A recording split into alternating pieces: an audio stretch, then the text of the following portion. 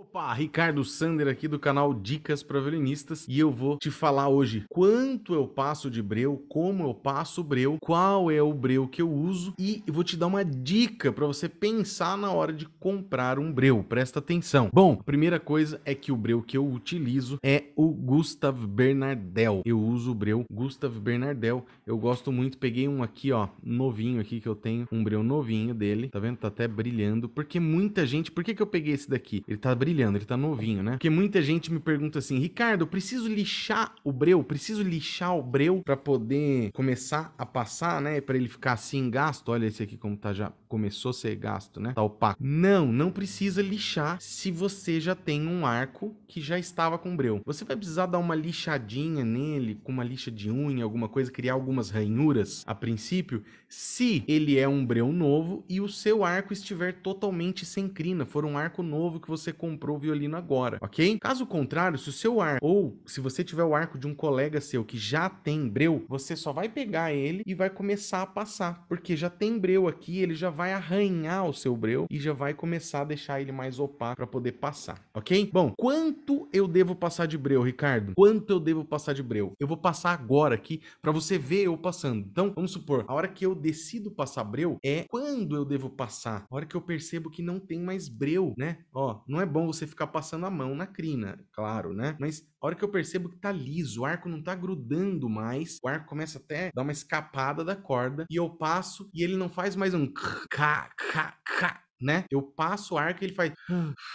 ele dá uma sopradinha. E aí você vem dar uma verificada e vê que não tem breu na sua crina. Então isso não tem uma data, ah, duas vezes por semana, uma vez por semana, uma vez cada 15 dias. Não tem, tá bom? Percebido isso, então, quanto eu devo passar de breu? Vou pegar aqui vou passar agora. Eu começo assim, ó. Passo um pouquinho aqui na metade inferior, desse jeito que eu tô passando aqui, ó. Daí eu vou pro meio do arco, passo um pouco no meio do arco e passo girando, ó. Por que que eu passo girando? Se você passar só num sentido assim, parado, vai abrir um canal no meio do seu breu, vai abrir um canal aqui, você vai perder breu dos dois lados. Aí tem gente que faz aquele mais, né? Passa de um lado e passa do outro. Sempre você vai perder breu, tá bom? Eu vou te mostrar aqui um breu, como ele vai até o final, grosso e o, e o final. Já vou te mostrar já. Daí eu vou passando aqui, ó, vou fazendo assim, de pouquinho em pouquinho. Na ponta também geralmente fica bem sem breu. Vou passando aqui, ó, daí para você até escutar, né? Aí eu volto e vou indo até lá embaixo. E aí eu dou mais umas passadas assim, pronto. Esse aqui é o tanto de breu que eu passo no meu arco. E aqui, geralmente, né, eu toco todos os dias. Eu dou aula todos os dias de violino. Eu toco violino todos os dias. Então, geralmente, esse tanto que eu passei aqui, para mim, às vezes dura até 10 dias. Até 15 às vezes, tá bom? Pra você ver que você não precisa passar tanto breu. E aí, aqui, então, eu tenho para você ver um breu, né? Ele acabou quebrando. Eu não sei se foi alguma faxineira aqui em casa ou se foi meu filho. Não sei, ele caiu no finalzinho. Mas eu vou conseguir te mostrar. Vou jogar essa restinho aqui no lixo, cair essa poeira, né? Que tem que tomar bastante cuidado com essa poeirinha do breu, porque ela, ela deixa uma, ela é uma cola, né? Então, olha só um, um breu Gustavo Bernardel, ele só acabou quebrando porque alguém derrubou, mas se não ainda dá para usar, ó a grossura dele aqui, ó. Vou tentar mostrar para você, ó. Olha aqui, esse meu usado, olha o tamanho. Então, se você vai usando daquele jeito que eu te falei, girando, segura bem do lado e passa em vários sentidos. Assim o breu vai comendo, vai gastando por inteiro essa peça daqui. Não fica com um sinal de mais ou um sinal de asterisco que você perde um monte de breu. Se você passar desse jeito, ele vai até o talo. E aí é isso que eu queria te dizer. Por exemplo, esse tamanho de breu aqui, ó, para ele chegar nisso, eu, que sou violinista profissional, passo breu nos, nos, nos, violinos dos meus alunos, toco em orquestra, toco todos os dias violino, um breu desse daqui, esse aqui em específico, eu acredito que fazia uns dois anos e meio mais ou menos, talvez até três anos que ele já estava aqui comigo. Ainda dava para usar um tempo aqui se ele não tivesse quebrado, ok? Um breu desse daqui, para você, sozinho, ainda às vezes algum amigo pegando emprestado ou não, se você não derrubar ele e ele quebrar, talvez um breu desse possa durar 6, 7, 8, 9 anos para você. Se não mais. Conheço gente que tem breu de 10, 15, 20 anos. O cara falou: não, esse breu aqui é o único, comprei e só toco na igreja. Você vai durar muito. Então, por que, que eu tô falando isso? Presta atenção. Eu tô falando isso para você para dizer para você que vale a pena você juntar um dinheirinho ou talvez, se você tiver como, parcelar a compra do seu breu. Por quê? Como assim parcelar, Ricardo? Não, parcelar não é bom.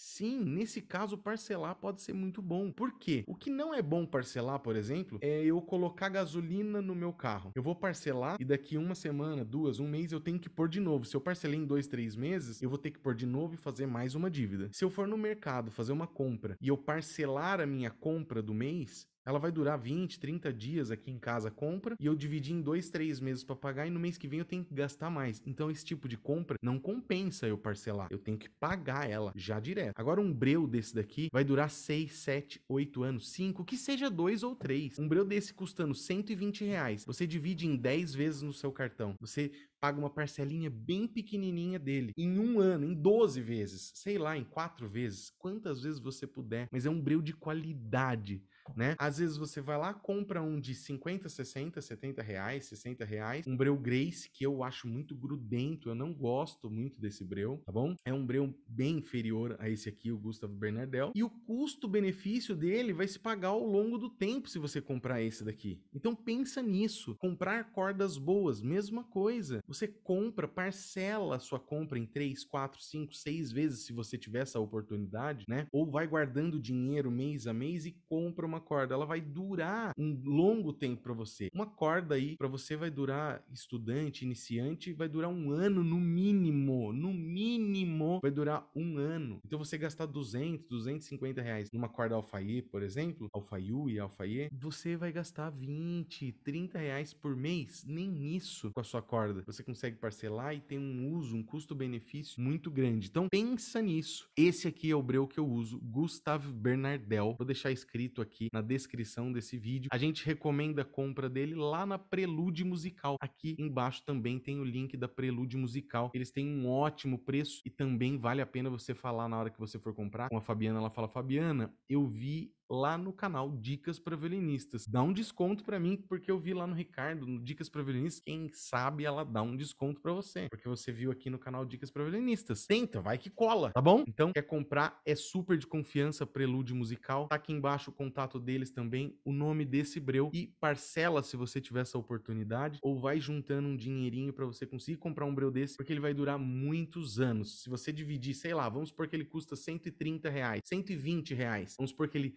dure seis anos, você vai dividir 120 reais por seis anos. É muito pouco o seu investimento pelo tanto que ele vai durar, tá bom? Pense nisso, deixe seu comentário aqui. Qual breu você está usando agora? Eu queria saber qual é o breu que você está usando agora. Você pode deixar escrito aí nos comentários, digita aí o modelo e a marca do seu breu para eu saber qual é o breu que você está usando. Seu comentário, seu like, se inscreve no canal e se quiser ser nosso aluno, tem na descrição aqui dos vídeos sempre o link para você saber mais sobre nossos cursos online. Obrigado e até mais.